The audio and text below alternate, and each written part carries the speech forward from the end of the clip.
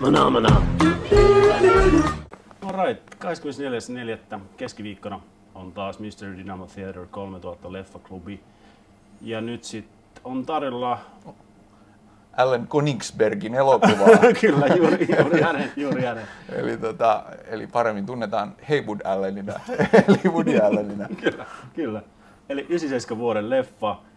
Ja silloin ilmeisesti vähän niin kuin jakoo kriitikkojen mielipiteitä siitä, että onko tämä nyt hyvä vai ei. Mä itse tykkäsin silloin, kun mä näin sen eka kerta, niin ihan tosi tosi paljon, koska se oli vaan Allen osaa kirjoittaa. Se osaa Niin, kyllä. Joo.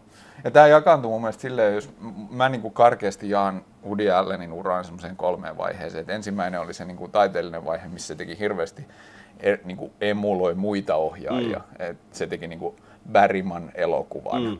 ja niin edespäin. Ja sitten se muuttui siinä keskivaiheessa semmoiseksi, että Woody Allen esittää Woody Allen ja Mm. se oli itse pääosissa niissä kaikista elokuvissa. Se on se niin, kuin niin, niin sanotusti mun mielestä se kaikkein pahin neuroosikausi. Mm.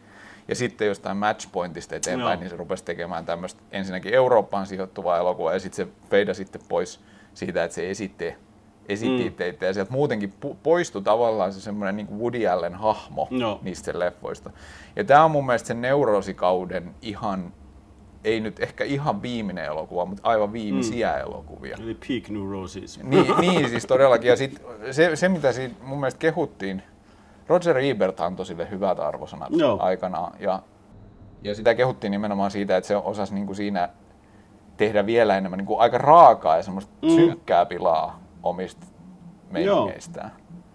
Ja, ja tota, mä kans tykkäsin siitä silloin, että siitä on todella kauan, kun mä oon nähnyt tämän elokuvan Mm. mm. Se voi hyvinkin olla, että on niin kuin aikaa ajanut tosi vahvasti sen ohi, mutta, mutta silti ottaa huomioon, että kyseessä on tuhma setä Woody Allen, niin, Niin. keskustelu on varmaan ihan mielenkiintoista. Joo, siis sehän just tietyllä tavalla tässä on mielenkiintoista, että millä tavalla se, tuosta on kuitenkin, mitä, 22 vuotta. niin 22 vuotta.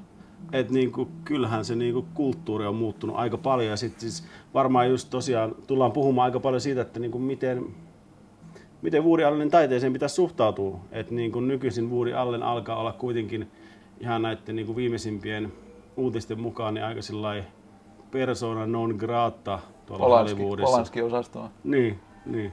Joo, ja, ja varsinkin nyt ihan hiljattain tullut juttu siitä tästä Timothy Chalamet Joo. ja, ja, ja la, omien lapsien syytökset hyväksikäytöstä ja muuta vastaan. Et sinänsä sattumalta osuimme tämmöiseen hyvinkin, Joo. hyvinkin ajankohtaiseen hetkeen. Ja onko meillä vielä luvassa sitten niin kuin mahdollisesti all male panel?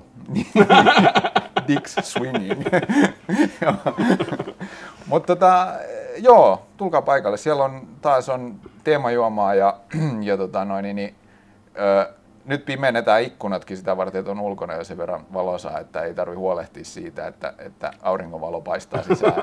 Pääsee näkemään elokuvaa kuitenkin silleen, että siitä saa jotain selvääkin. Mutta kaksi screeniä ja äänentoistot ja ilmaiset popparit. Kyllä, the usual. Niin. Ja, ja vierastakin yritetään saada. Että, et, et, toivotaan, että olen tässä heittänyt jo nuotat vesille, mutta ei ole vielä tullut vastausta. Että katsotaan, miten käy. Tervetuloa.